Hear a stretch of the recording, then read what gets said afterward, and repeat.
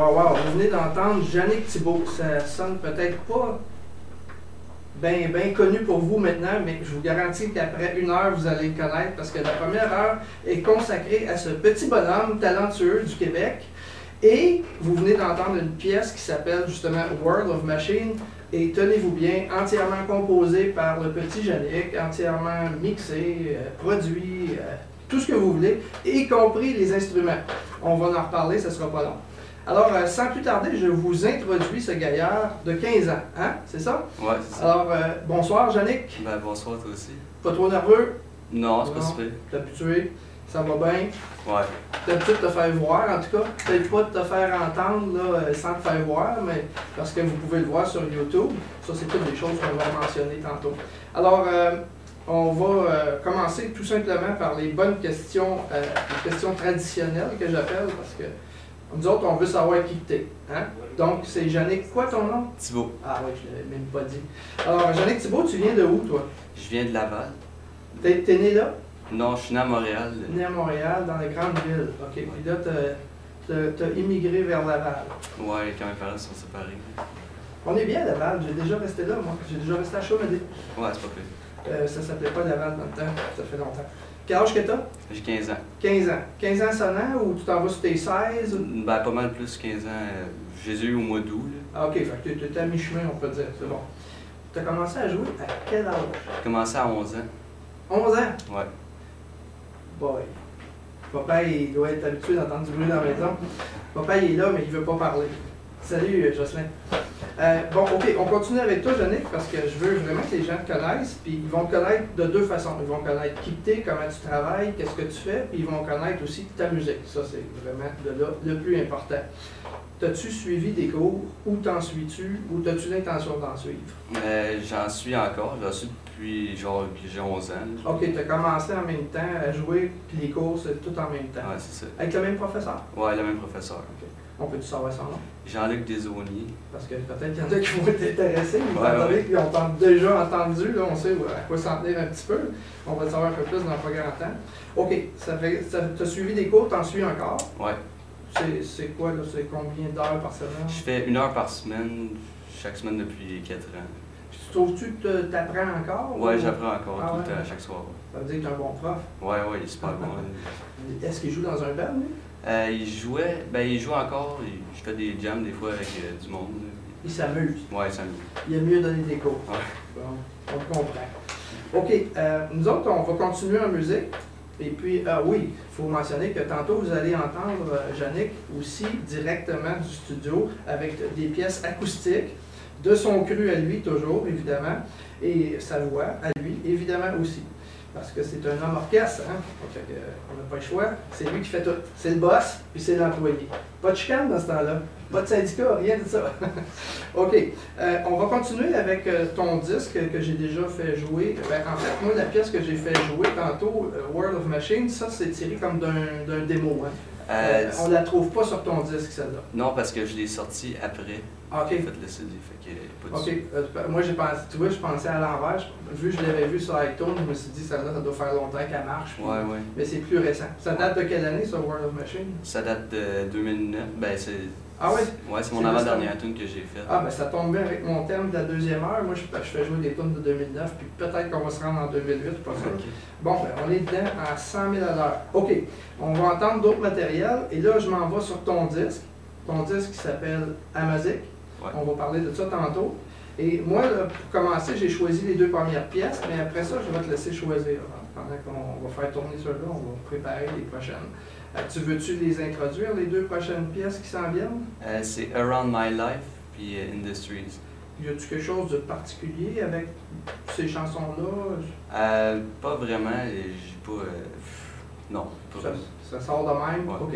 Alors, euh, pour avoir plus d'idées, on va y aller en musique et on vous revient dans à peu près une dizaine de minutes.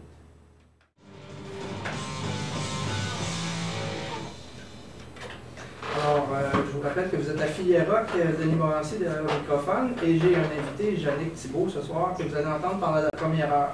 D'ailleurs, vous avez déjà entendu trois extraits de sa musique, et je crois que vous avez déjà deviné que c'est du bon stock. En tout cas, pour moi, ça passe 100 000 à l'heure et on va parler avec les petits jeunes en masse. Mais j'aimerais juste vous dire que c'est la dernière émission de l'année 2009 parce que, bon, euh, nos émissions tombent le jour de Noël et le jour de l'an.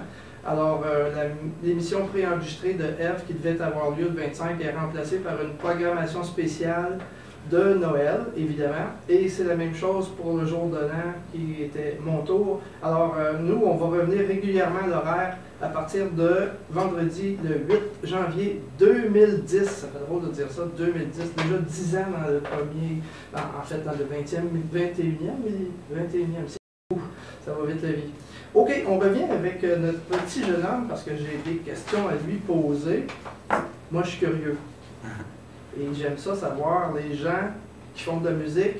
C'est une question, c'est souvent les mêmes questions hein, qui reviennent, veut, veut pas, là, tu sais, je veux dire, on, parle de la même chose, là. C'est juste que c'est l'artiste qui change, mais j'aimerais ça savoir, moi, c'est quoi ton inspiration fondamentale, ta première inspiration ou ton premier idole qui t'a amené euh, où ce que tu es là aujourd'hui? Moi, c'est sûr, c'est euh, c'est Billy Joe, le chanteur de Green Day. là. Je le regardais jouer, puis je voulais être pareil comme lui. Ah ouais? C'est à cause de lui. Il y, a, il y a des petites ressemblances aussi hein, dans ton style. là. Ouais, il y a bien du monde qui dit Ah ça. ouais, c'est ouais, c'est- frappant un peu. Mais c'est- ça a été vraiment lui, là, de- comme, comme moi, ça a été Jimi Hendrix. Ouais. Le monde le savent parce que j'en parle dans toutes les émissions. J'ai toujours quelque chose à dire sur lui. D'ailleurs, je vais en avoir encore à soir. Mais toi, c'est vraiment Billy Joel. Ouais, ouais. Et- Le chanteur de Green Day, je voulais être pareil, je voulais faire les mêmes affaires que lui, je voulais faire de la guitare, chanter. C'est ça. Puis, euh, tu as débuté, on parlait de ça un peu tantôt. Toi, là, maintenant, tu joues seul, mais euh, avant, tu avais commencé dans un groupe, un trio, si je ne me trompe pas. Ouais, j'avais commencé, on faisait des. Qu'est-ce qu'on faisait, nous? C'était comme des covers de Green Day. On faisait juste, juste, juste des tunes de Green Day. Puis euh, à un moment donné, ben, les, deux, les deux personnes avec qui je jouais, ben, ils ont décidé d'arrêter de jouer. Est-ce que vous aviez un nom? Ouais, on s'appelait Electrical. Electrical. Ouais. Alors, une chance qu'on a l'électricité, hein, sinon il n'y aurait pas de rock. Et puis, euh, ça, ça a duré quoi, deux ans, toi? Ouais, environ. Là, on a eu le temps de faire une coupe de shows. Des shows dans les écoles ou des salles? euh? Le premier show qu'on a fait, c'était pour un. euh, genre euh, des scouts. Ah, OK.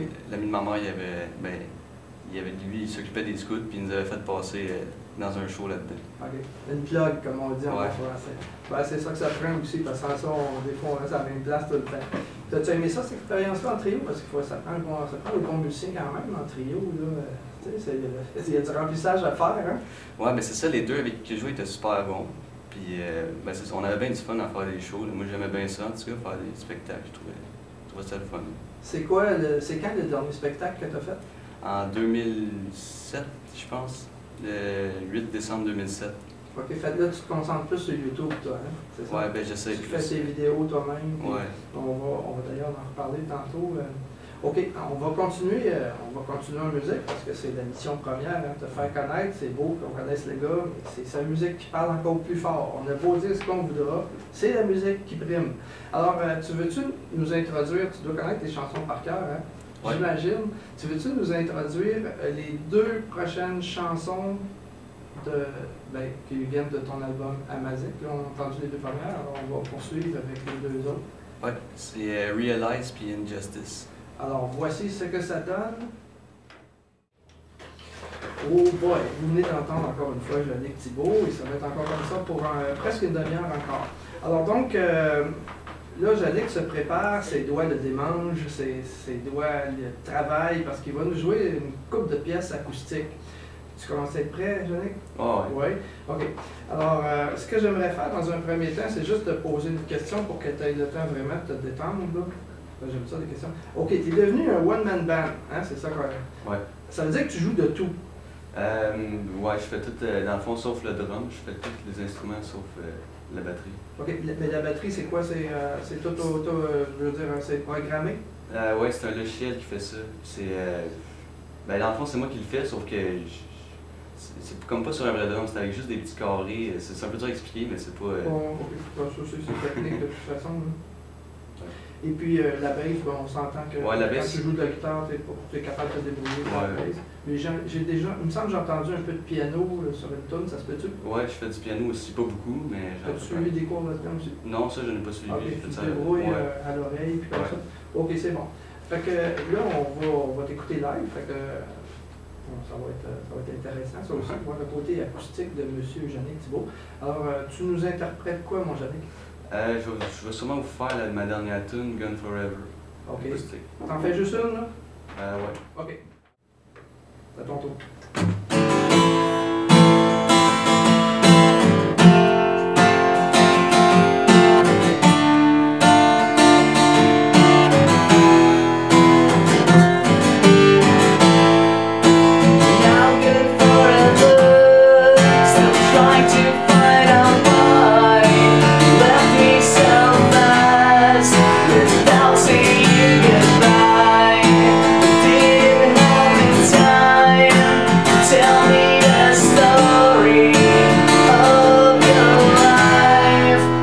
can't take you back.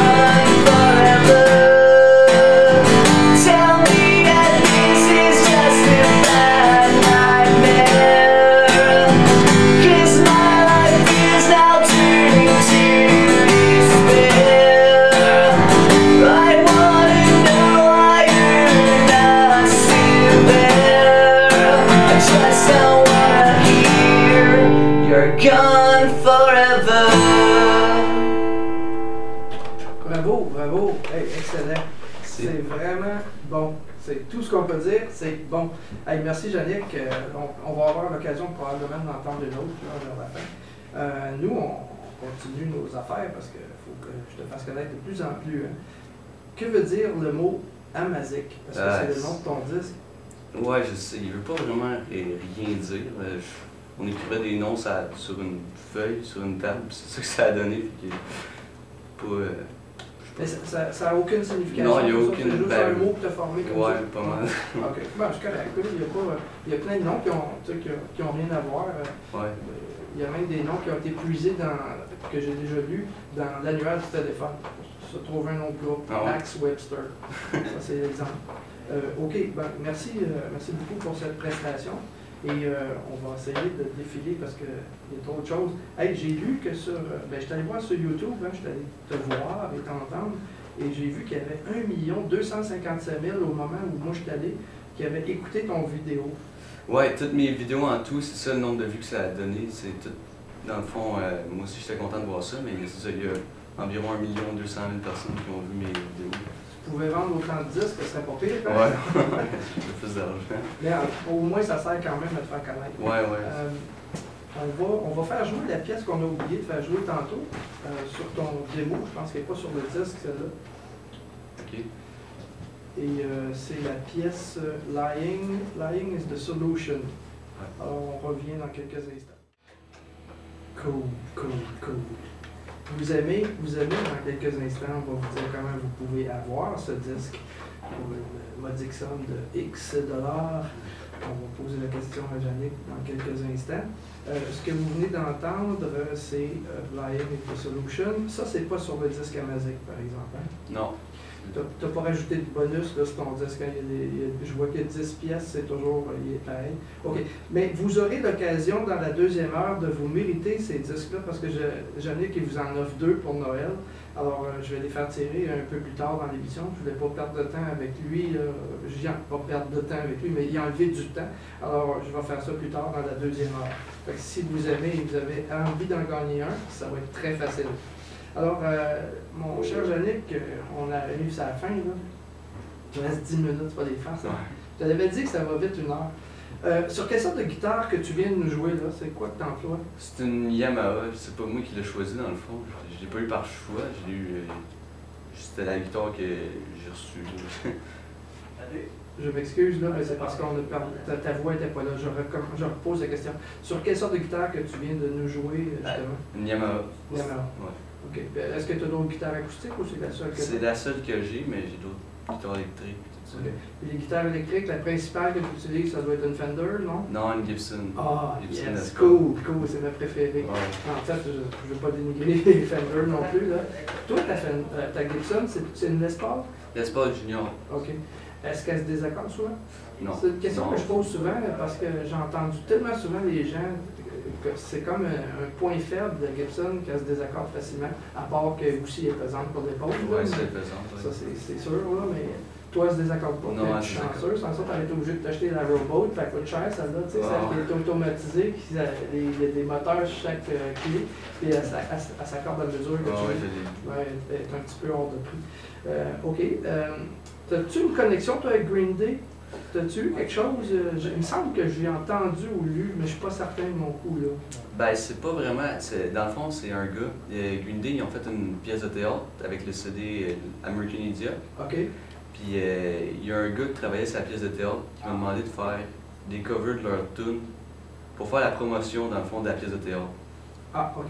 Fait que, dans le fond, euh, il m'a dit qu'il m'a envoyé un t-shirt, il m'a dit Ah que. Billy Joe il avait entendu mes chansons. Et puis, est-ce qu'ils est qu'ils l'ont utilisé, ta, ta pièce, finalement? Euh, non, parce que ça servait plus, comme, euh, comme je dis, à faire la promotion. Ils, faisaient, ils mettaient des vidéos sur YouTube pour promouvoir genre, la, la ils de l'ont utilisé pour ça. Ouais, ouais, Tu as eu l'occasion de la voir, de Ouais. l'entendre aussi? Ouais, Ah ouais, OK. Ben, c'est déjà quelque chose. euh, hein? ouais, c'est pas. Ouais, ça peut venir euh, ailleurs des fois, hein, avec le temps. En tout cas, je te souhaite de rencontrer un gérant ou quelque chose du genre. C'est ça que tu as vraiment besoin, Ouais, c'est quelqu'un qui va t'aiguiller. Avis aux intéressés. Euh, euh, comme dernière question, ton disque, justement, si quelqu'un veut l'avoir et qu'il ne le gagne pas à soir, parce que c'est pas tout le monde qui va pouvoir le gagner, alors comment est-ce qu'on peut se le procurer? Ils peuvent soit l'acheter sur iTunes, juste en tapant ben, le, le nom, là, Amazic. A-M-A-S-I-C. Ouais. à Mazik, ok. Tape ça, il coûte ça des 92. Il y a, il y a 8 tunes par exemple. C'est ça la différence entre le CD sur iTunes et le vrai CD. Ok, ouais, parce qu'il y en a 10 ici. là. Ouais, le, CD, le vrai CD, il y en a 10. Il y a deux bonus, deux covers dans le fond. ok, ouais, c'est des bonus, ça. Ouais. Une de, une de Green Day, Know Your Enemy, puis une de Noël que vous allez entendre plus tard dans l'émission. Santa Claus, non, Santa Claus. Ok, hey, euh, bon, on a le temps de s'en prendre une petite acoustique encore, je crevais, hein? Ça fait plaisir, puis c'est le fun. Alors, euh, je te laisse introduire ta pièce et la jouer. Ok, ben je vais faire, je vais faire Injustice en version acoustique.